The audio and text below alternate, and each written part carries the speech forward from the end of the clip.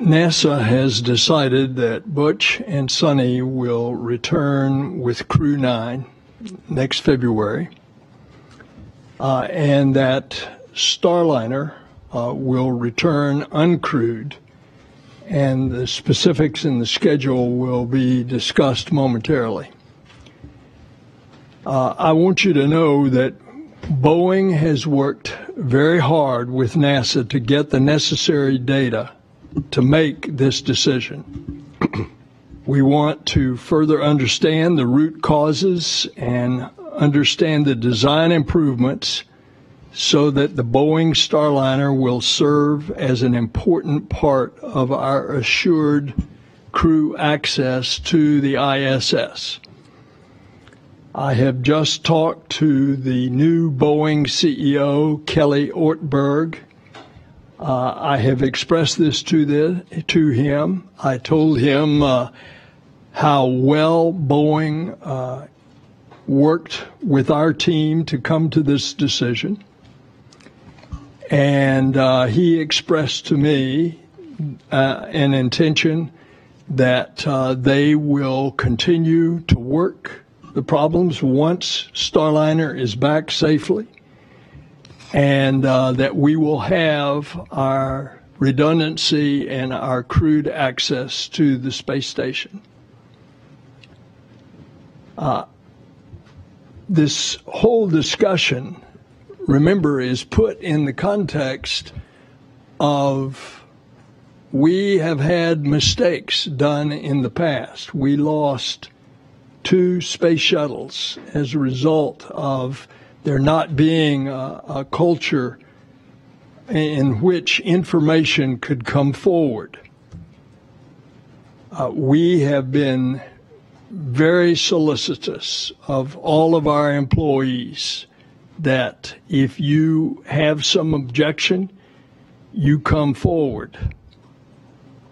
Space flight is risky even at its safe, safest and even at its most routine. And a test flight by nature is neither safe nor routine. And so the decision to keep Butch and Suni aboard the International Space Station and bring the Boeing Starliner home uncrewed is a result of a commitment to safety. Our core value is safety, and it is our North Star. And I'm grateful to NASA and to Boeing for their teams, for all the incredible and detailed work to get to this decision.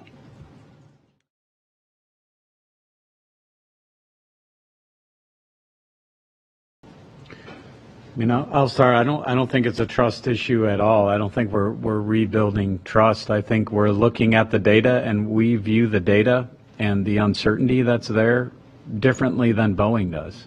It's not a matter of trust. It's our technical expertise and our experience that we have to to balance. And and I think Ken said it. We balance risk across everything, not just the Starliner piece. So I, I don't see it as a trust issue at all. I guess counter. Well, I would say that um, we've had a lot of tense discussions, right? Because the, the call was close, and so people have emotional uh, investment in, in either option, and, and that gives you a, a, a healthy discourse. Um, but after that, you have to do some work to, to keep your team together, right? To keep uh, your team uh, restored and ready for the next issue. And, and I'll acknowledge that we have some work to do there. Um, it, it's pretty natural whenever you've had a, a difficult decision to make. Um, but we're aware of it and, and we'll work it. Uh, and we're committed to continuing to work with, with Boeing. Uh, Steve, any, anything you want to add? Yeah, I, I wouldn't necessarily call it trust. I would call it a technical disagreement where we get uh, a group of engineers together and they disagree on the risk level of what could potentially happen to the thrusters. Um, Boeing did a great job building a model. Now, we, the question is, is that model good enough to predict performance for a crew? Um, all the work we've done is really important also for bringing this vehicle back. We want the vehicle to come back uncrewed. It needs to land at the White Sands uh, Space Harbor, which is where the opportunities are setting up in September. And all the work that we've done, both on the NASA and Boeing side, give us confidence to bring the vehicle back.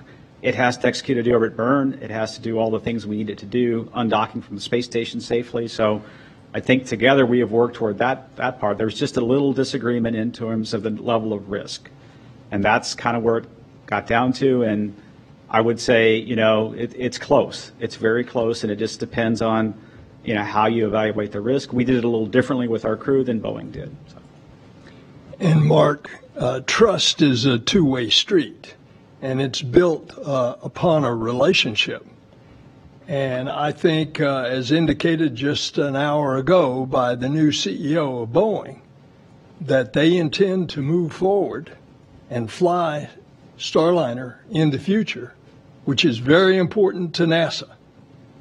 That we have two uh, human rated vehicles. I think uh, you should understand the, the trust is two ways.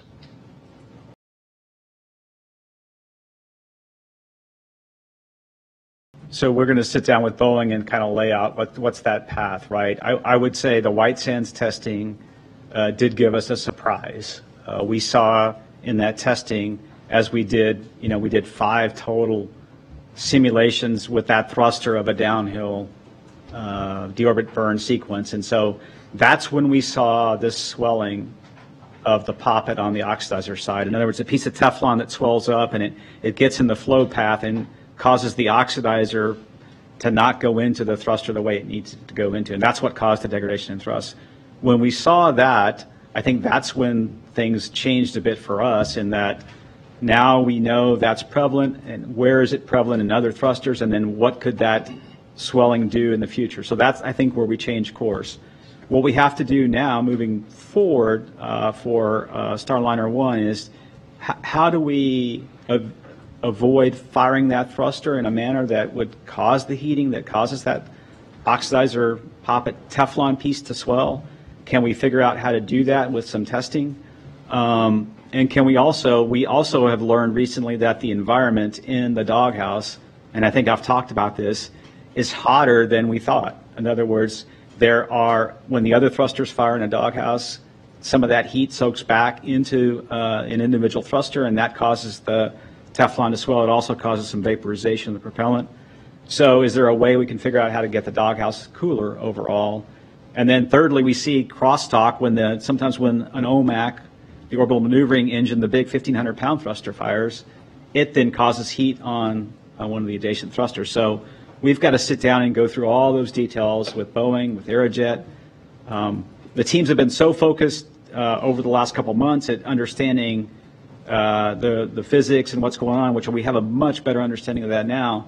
Now that we have that understanding of the physics, I think we can move forward and start to find mitigations for future flights. Yeah. See if Ken has anything to add. Well, um, for me, the uh, the White Sands results I thought were a gift. It, it was just great to have that data. Um, and I really thought it might help us convert. Uh, I've seen it uh, with a few of our discussions where uh, we have people in different camps on a, on a risk decision. We gather more data, and then a piece of data comes in, and we we come together, and everybody agrees that uh, we we take one path or the other. Uh, and I, I thought we might get there until probably about a, a week ago, I'd say. That, that, that's where it started looking like, hey, I, I, just don't think we'll get there in time uh, for uh, for bringing Starliner home in a in a timely manner. Uh, with more time, we might have gotten a lot smarter, uh, but but we're just at the point where we need to bring Starliner home, take all the data we can, and, and keep moving forward. I think.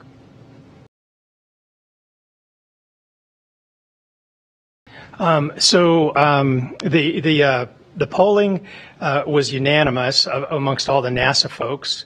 Um, uh, Boeing expressed uh, the ability to either work crewed or uncrewed. Um, they believe in their vehicle and, and, and, they'd be willing to bring a crew home on it. Um, we had some NASA folks that uh, took a broader view of the um, of the, the global risks who, who thought that, hey, we probably should keep the crew on the, uh, on the, the test flight. Um, to, to, say whether that was 15, 20% of the people, I'd, I'd have a hard time uh, coming up with that number. But as far as the mood, um, all of us really wanted to complete the the test flight with crew, and I think uh, unanimously we're disappointed not to be able to do that. Um, but that's part of the reason our system is set up the way it is, right? You don't want that disappointment to weigh unhealthily in your decision.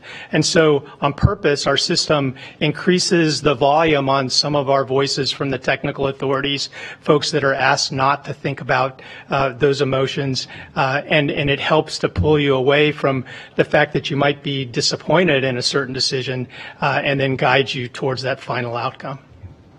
And, and, I would add on the mood in the room, you, you, know, I think everybody is professional and did their jobs, but there is a, a sense of not accomplishing the mission that we set out to do.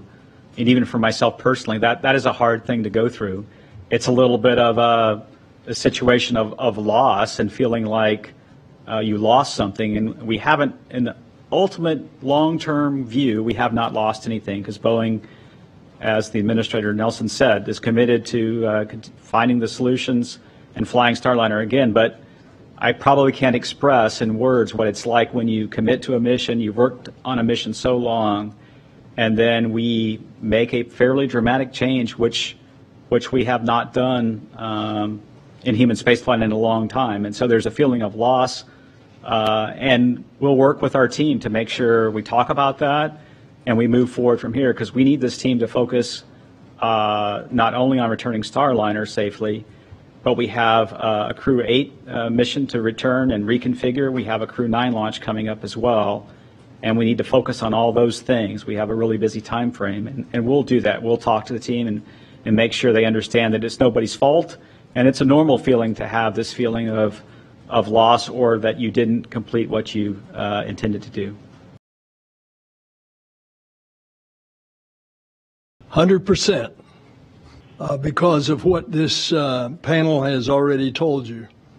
Uh, the extensive cooperative working relationship between NASA and Boeing of finding the problem, but knowing that the uncertainties are what held up the crew getting on Starliner to go home and uh, a certainty on my part that we will find out the uncertainty and uh, Boeing's willingness to carry through on this program.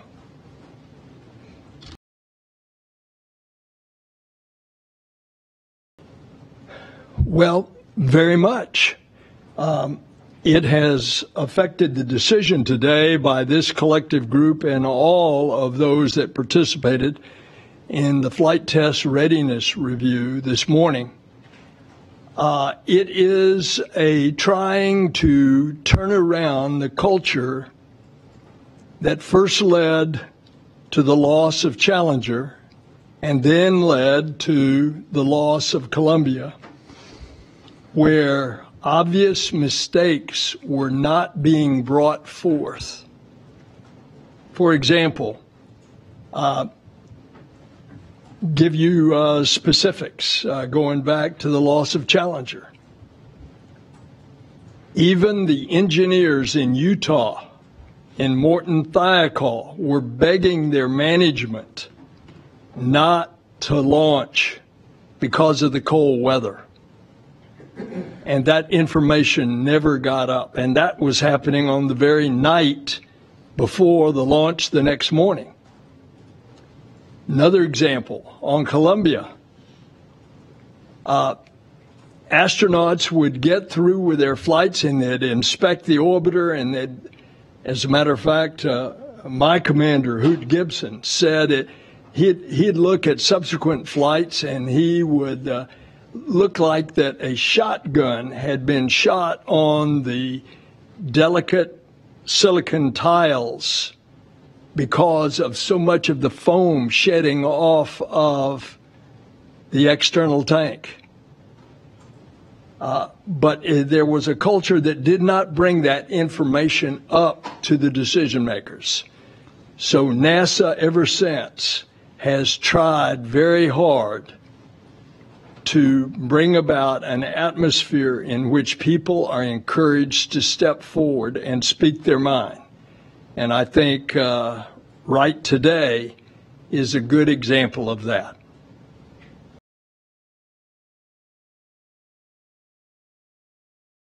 I'll, I'll jump in on, on this one. Um, first off, all the astronauts on station are professionals. All those qualities I talked about with Butch and Suni, that's exemplified in, in every astronaut that flies to the International Space Station. They're professionals. When they launch, they know that there are circumstances where they can be on board for up to a year.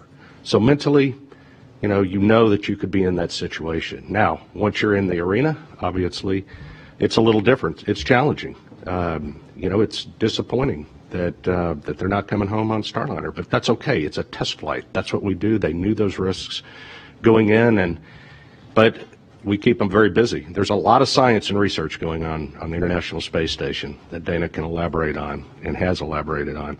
Uh, we keep them busy. We keep them working, and they are continuing to pave the road for human exploration going forward. So it's great. They're part of the crew, um, and they're doing fine. What do you say to their families? I care deeply about their families. I know this is a huge impact um, to their families, and it means a lot. Um, their families are the pillars that keep them strong. They're the pillars that we at NASA depend on for the workforce to keep us going. Uh, they're the pillars that help this team uh, with the crewed flight test have the resilience to keep going, especially over these last two months that, that were needed to go forward. And that's both at NASA and Boeing. So family is the backbone of what we do in the support structure. So I tell their families, thank you. Um, thank you for their support. Thank you for the, what they do to allow NASA and our commercial partners to do what we do to explore space.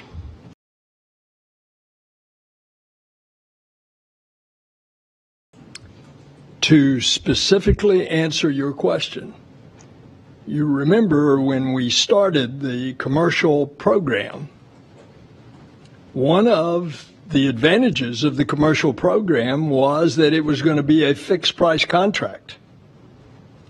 Uh, so much of NASA's research and development uh, in a very unforgiving environment space that is very hard and is cutting edge technology and it is very expensive.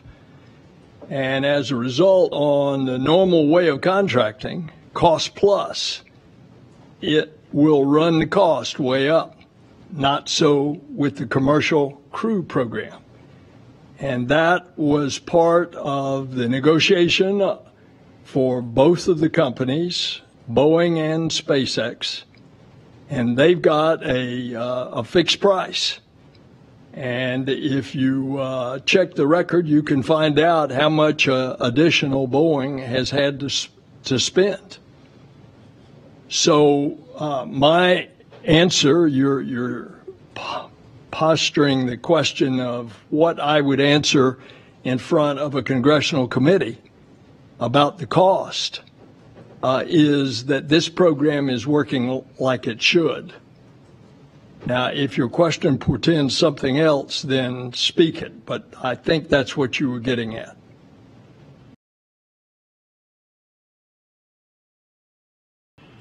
Uh, Joey, uh, it did not come up, nor would it have been appropriate for in a conversation of which I'm alerting him as to what the decision of the flight test readiness review was, that we would get into those matters.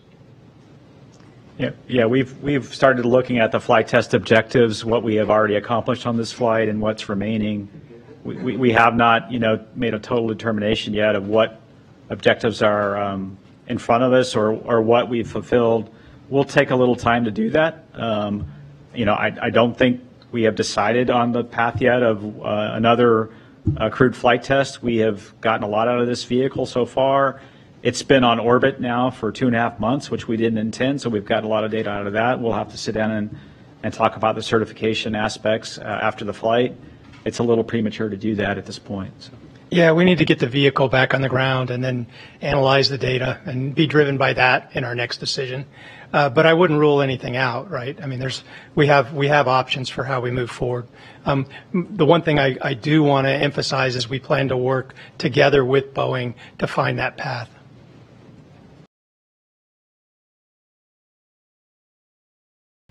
Well, uh, so I'll, I'll kind of go through just mentally all the orgs we polled.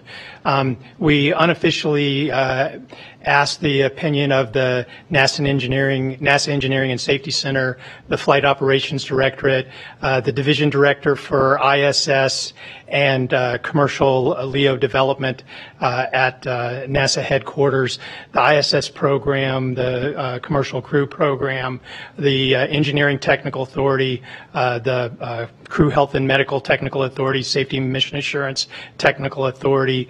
Um, let's see, who else did I leave out? All the center directors from Stennis, Marshall, uh, JSC, um, and Kennedy Space Center, where the Commercial Crew Program is officially based. Um, anybody I missed on that list? I think you sounds got like just the about list. everybody, yeah. I think, did I get everybody? And that was, and that was, again, uh, everybody concurred uh, with proceeding uncrewed. And they stated where they might have one or two people uh, during our meeting uh, that, uh, that had a different opinion and tried to give those uh, folks an opportunity to talk to the group.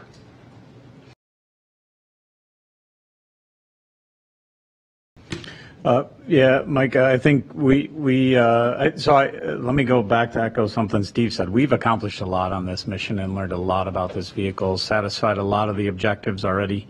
Um, That stressed here by Steve, stressed on previous press conferences.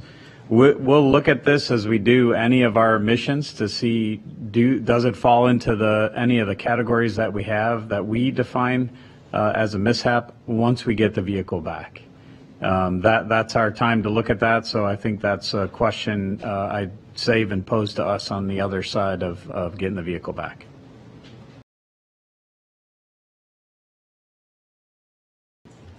I I can take a cut at that, and we'll, we'll see. um, uh, You know, when we looked at, first of all, we looked at the risk of uh, putting Butch and Suni on the Starliner vehicle due to the issues with the thrusters that we've talked about. And so when we looked at that risk, we said that that risk was due to the uncertainties, due to the inability to predict with certainty the thruster performance for the rest of the mission, including holding the orientation of the vehicle for the deorbit burn and then maneuvering the vehicle for the separation of the crew module um, and the service module. When we came to that conclusion, we started looking at what other options, Dana and I both did, what options do we have? Because these missions are really jointly shared between the ISS program and commercial crew program. And as we started looking at various options, it was obvious to both of us that the easiest and best option was to uh, configure the Crew 9 vehicle uh, with a couple empty seats uh, on the way uphill to put ballast in those seats. Uh, SpaceX had that capability. Um, We also knew that we had um, a spacesuit on orbit already that we could utilize for one of the crew members. They've tried that on, and that spacesuit works. Uh, Both crew members tried on a spacesuit, so we have a a spacesuit now we're going to launch for one of the other crew members on Crew 9. And then we really wanted to give the crew, you know, a a suited return, uh, like we always have in U.S. space flight. So when we started to weigh all those options, it became very obvious that Crew 9 was the best option, fly up two empty seats, have Butch and Suni join uh, the increment crew and return on Crew 9. That just became the easiest, the best option, and the most efficient option for all of us. And I'll see if Dana has anything to add. Yeah, I would just add that, um, you know, knowing that this was a test flight, we made the decision a couple years ago to uh, train and keep Butch and Suni current with all aspects of station, some of the most complex things we do, spacewalks, robotics, some of the research. So um, we had them trained. They've obviously flown to station before. They've done long duration missions, both of them have. And so, again, when you line that up with our vehicle options and the fact that the Dragon spacecraft is highly automated, um, as you all know, we've used it for private astronaut missions. We do have a lot of experience taking uh, people with much less training than what our classic training is for our NASA crew and having them fly on Dragons. And so when you look at that in aggregate, it made a lot of sense to make the decision to adjust Crew 9 and have them do a full expedition and come home on a Dragon. And, and one thing I'd like to add, um, a major goal of the commercial crew program is to develop um, not just the capability to go back and forth to space station, but a generic capability to go back and forth to low Earth orbit to develop a commercial capability. Um, there's two reasons for that. One is dissimilar redundancy. So you have this option where if there's a problem on one vehicle, um, you might not have the same problem on another vehicle. So, so you could use them uh, for a return or, or, or perhaps keep them flying while another vehicle is working through um, recovery from some sort of a problem.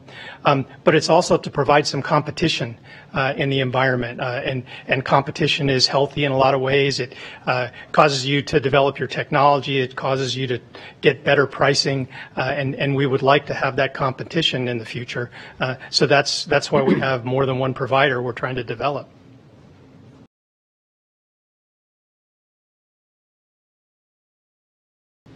On Sierra, uh, I will let somebody else uh, answer that. Uh, with regard to Boeing, uh, remember, it's a fixed price contract. Uh, we expect delivery on the contract, and therefore, uh, there is no discussion at this point uh, on NASA's part uh, in the question that you pose, which is basically that they've spent X, will they spend Y to get to where uh, Boeing Starliner becomes a regular part of our crew rotation. That's not, uh, I don't have the answer to that, nor do I think we w- would have the answer now. And I'll, I'll add about Sierra Space. Um, Sierra's working very hard on their first maiden voyage of the Dream Chaser. That's a cargo mission. Um, they've got the vehicle down at Kennedy and they're working through test and final assembly. So it's, it's the plan that they fly cargo missions to station through the rest of station. And in fact, that's the scope of the contract that we have with them to provide cargo capabilities. There is no existing contract with the agency for crewed capability, which doesn't mean that that's not a possibility somewhere in the future. In fact, Sierra has their own goals about moving in that direction in the future. But for now, the work and the focus is on getting them flying as a, as a cargo flight. And if you look back to how we started um, SpaceX and the Dragons, that's a very similar approach. We started with cargo flights first. We flew a number of flights, and then they eventually evolved into the uh, crewed version of the Dragon.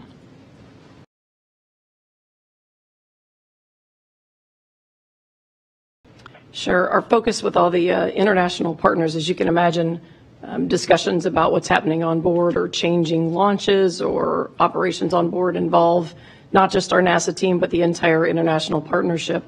And so similar to the discussions you've heard today, the focus has been on the decision immediately in front of us with what to do with Starliner crewed or uncrewed. And in fact, when we ended the uh, review today, I sent an email out to all of the, the program managers across the international partnership so they understood the, the decision. So they've been following along with us. Um, in terms of Roscosmos thinking about um, our integrated crew exchanges, and flying on the, the Boeing vehicle, they have always maintained that they want to see a few successful flights before they fly crew on it. I don't expect that that'll change, but we're not we're not actively having those discussions right now. Right now, we're focused on what to do with Starliner, but of course, those are things we'll talk about in the future.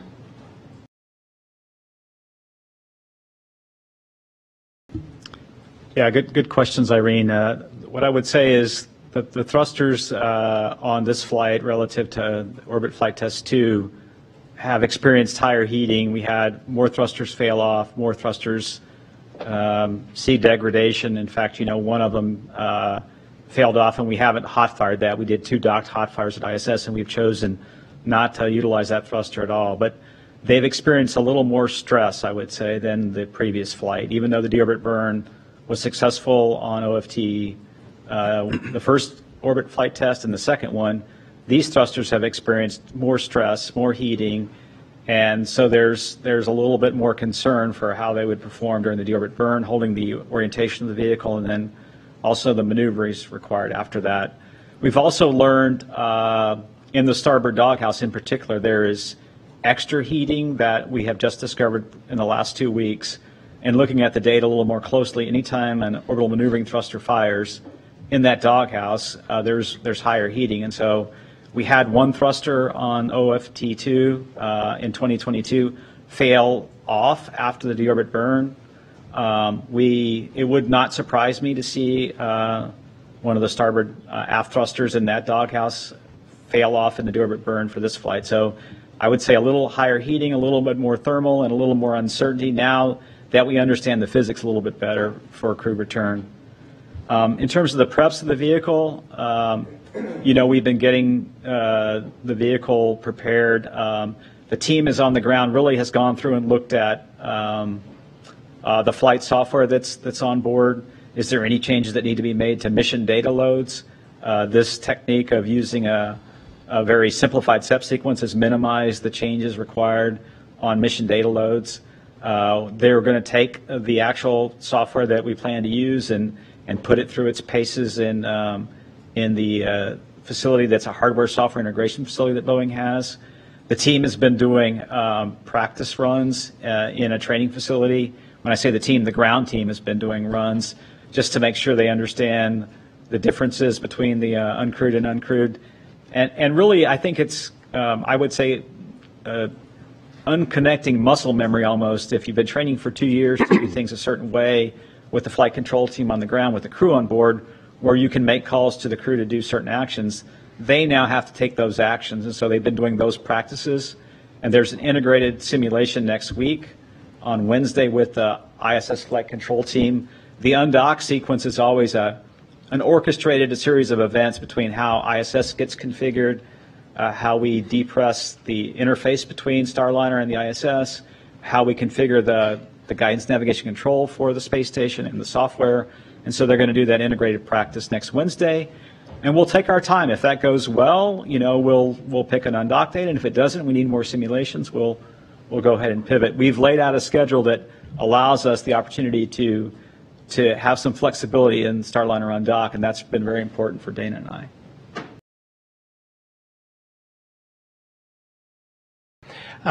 if you look at it, we, knew going in that the um, crewed flight test uh, was probably a little higher risk than a uh, typical uh, rotation with with Dragon, where we've flown multiple flights. Um, that's why we called it a flight test, right? Um, we had the issues coming uphill, and and that raised our risk level and our uncertainty in how much more risk there was. Um, anytime you change from your nominal plan that you've spent uh, years developing, you increase risk on the other side. And the type of risks I'm talking about are uh, that um, uh, something that we've uh, analyzed for contingency return with the crew uh, on the on the mid deck of the Dragon, or um, the the necessity of sending up new suits where the crews weren't able to try out the, the pressure suits on the ground so that they would have suits on the Dragon. Uh, those types of things raise your, your risk a little bit on that side. And so now both of your risk levels have gone up uh, and you knew going in that one was a little bit higher, and you've got uncertainty on just where it fits. So, so you have to really dig in to understand um, what the the baseline risk change is, and that's what the team has been working so hard this last couple of months. Um, for me, one of the really important factors is that we just don't know how much we can use the thrusters on the way back home before we encounter a problem because of the heating effects that happened on the way uphill. But Steve can tell you a lot more. Yeah, uh, th- thanks, Ken. Yeah, I'll just mention a couple things. Uh, one, we had uh, some thruster experts come in and and talk to us a few weeks ago, and and we are clearly operating this thruster uh, at a higher temperature at times than it was designed for. I think that was a factor that, as we started to look at the data a little bit more carefully, um, we're operating the thruster outside of where it should be operated in. Um, understanding could we have could a thruster just fail off gracefully, or could there be another failure mode that is not so graceful? I think that was an important factor as we talked about the two differences. Um, I mentioned the starboard uh, doghouse, and so for some reason the heating is higher in that starboard doghouse that we We do not understand when an OMAC thruster fires, the other thrusters get heated at a much higher rate than we expected.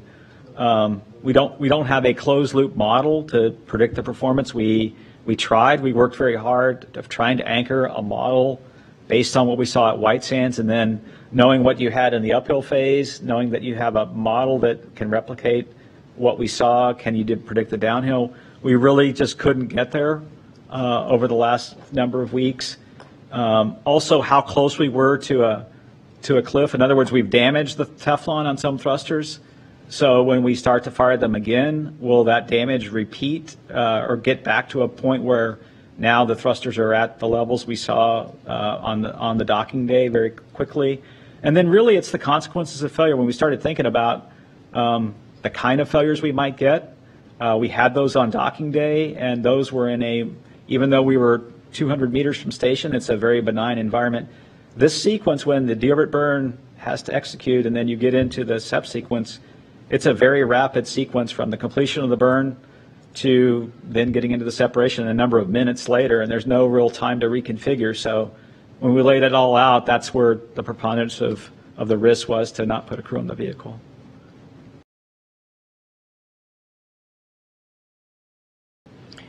Let's see, for the first, first part of your question, um, just at a high level from a, a, programmatic standpoint, we protect for about four months of what we call consumables reserve. So food, water, um, different kinds of consumables we have on board. Those are, those are the two biggies. Um, four months for four crew is what we protect for. So we always stay above that amount. And we do that intentionally so that if we had a problem with the delivery, a cargo flight that didn't make it, for example, we'd have margin. Um, so we always have a little more than, than what we need for some period of time. It's not limitless. In this particular case, we did have a resupply mission. In fact, just a few weeks ago, the Northrop Grumman 21 flight came up, so we had our eye on that flight. And so once we realized the team was working through issues and we were likely to have Butch and Suni on board, we changed that flight's manifest. So we added more supplies to keep us above that reserve um, level.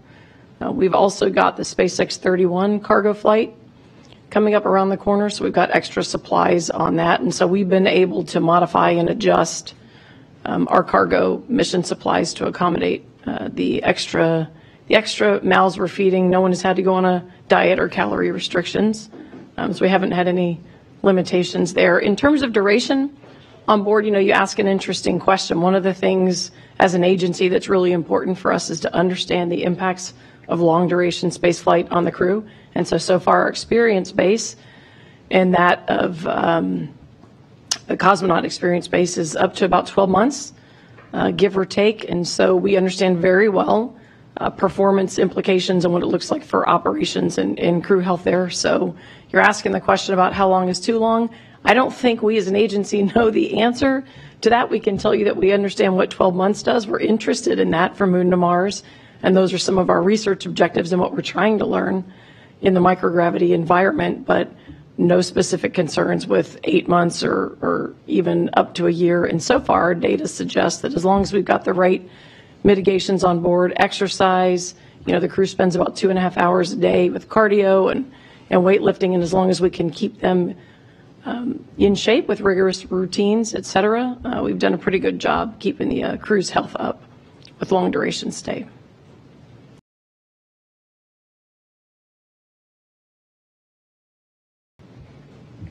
Yeah, I'll, I'll take the question. I, yeah, I think if we look back at OFT2 now with this newer lens of what we learned at White Sands, uh, cer- certainly could we have explored OFT2 in a little more detail, either uh, leading to some redesign of the doghouse to get the thermal environment lower or operate the thrusters differently. I think it's, it's easy to do that in hindsight.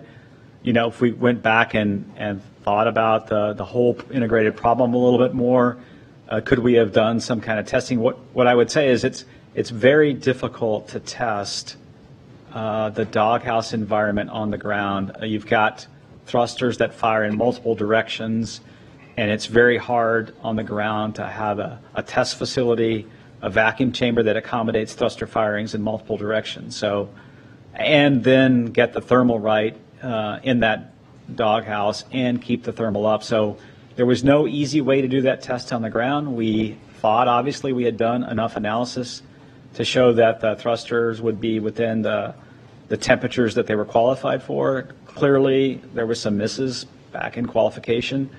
We're going to go through that data in more detail uh, uh, post-flight and then figure out what we can do to go fix them. And then we'll also look at our process. I would say we're going to look at the certification process. I know Boeing's looking at their process as well on how they got here. We're doing the same thing on the NASA side.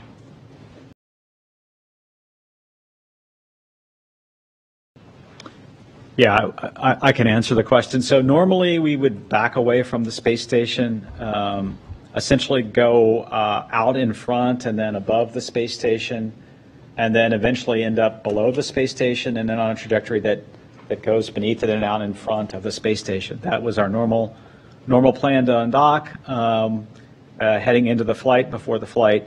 Now what we're going to do is execute a, a small number. The, the, undocking itself with the NASA docking system will be exactly the same. We'll use the same uh, techniques. The software will command undocking. We'll drive a sequence of hooks. They'll open up after we've uh, depressurized that area in between uh, the vehicles, and then we'll, we'll undock. And there's some springs that push the vehicle away.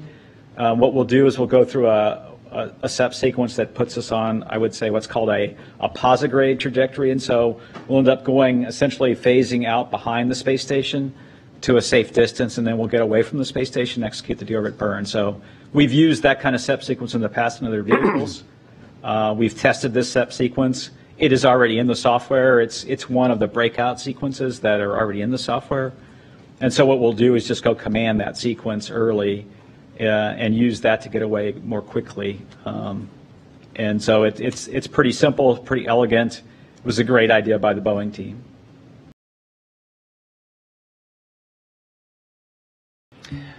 So let me start with the first question. I think um, the Steve was talking about how we process the data. I was talking about being encouraged by the fact that we had new data. Anytime you have new data, it means that you can analyze it and find out that that things are. Um, um, proceeding uh, well, and, and you can converge the team with that new data. What Steve found was uh, maybe a little bit different, and that's why it probably sounded different um, how we reacted.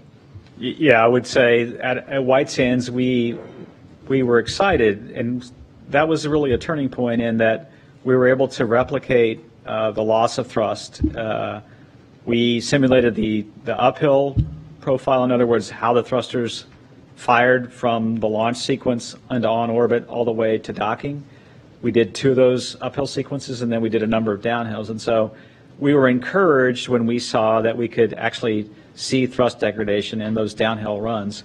What then was new is once we took the thruster apart and we looked at the, the valve on the oxide, oxidizer side, we saw this swelling um, on the Teflon seat, which uh, when we talked to the, the vendor, Aerojet Rocketdyne, they had never seen this before in this particular thruster. And so I think that's where there was a change in the wrist posture.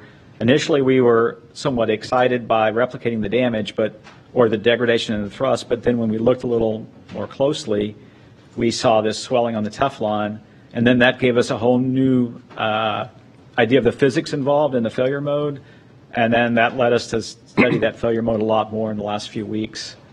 Um, relative to the four-person Starliner crew, uh, you know, we haven't really had those discussions yet. We need to get the vehicle back. We need to work through our, our sequence of events on what changes we'll make, both for the helium leaks and the thrusters, and then we'll make a decision on the next flight. It's a little premature to discuss that.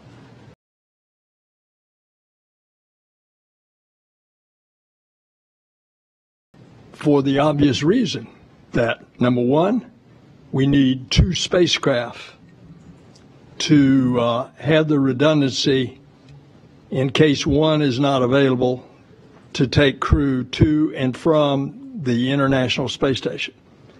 Number two, this is according to a arm's length contract and a contract that is a fixed price contract.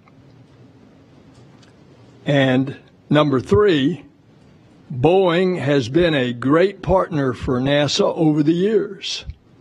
As a matter of fact, uh, the the big uh, Space Launch System, the SLS rocket, is overall managed by Boeing. and there has been a long history with Boeing.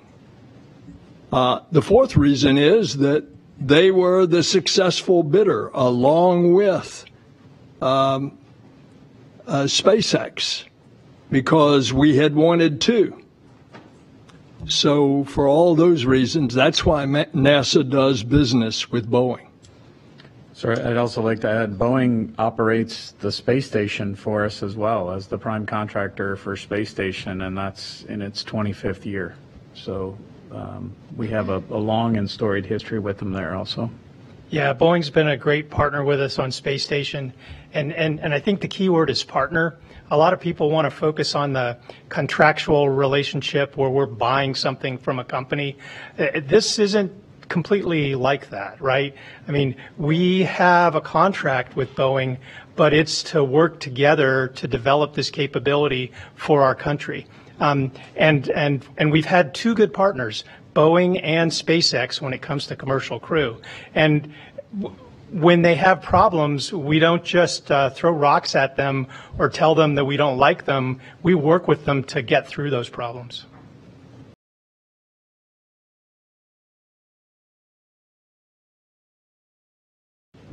Well, I'll take the first part, and it looks like Jim's getting ready to take the second part.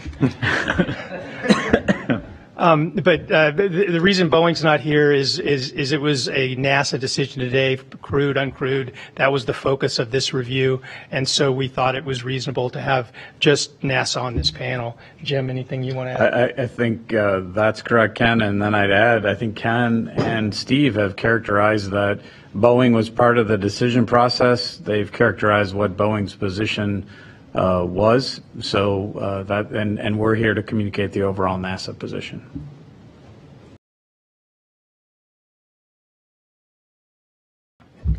Bill, if anyone knows, you know that NASA is not only bipartisan, it is nonpartisan.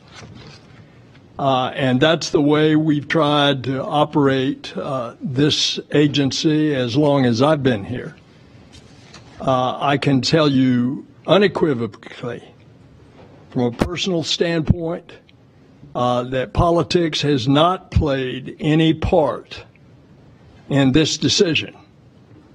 What I said earlier uh, about Challenger and Columbia and the lessons learned and what we've tried to change in a culture in order that safety is our North Star uh, is what we are trying to do uh, in a very hostile environment in which you, if you make a mistake, it's very unforgiving.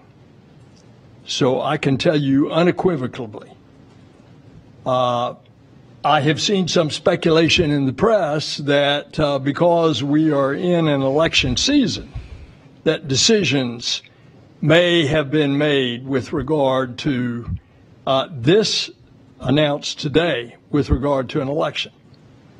Absolutely has nothing to do with it. And as long as I'm around here, it's not going to.